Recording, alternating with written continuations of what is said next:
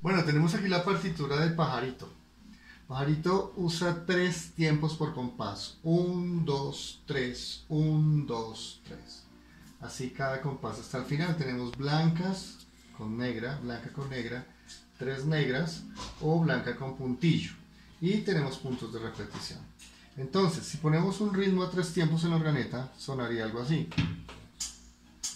1, 2, 3, 1, 2, 3.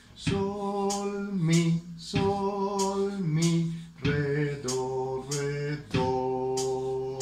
Sol, mi, sol, mi, re, do, re, do. Intenta entonces ahora tocarlo en el piano. ¿Cómo lo harías?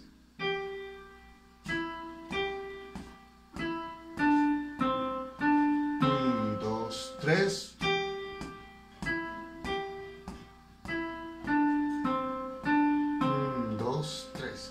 Graba un video y muéstrame.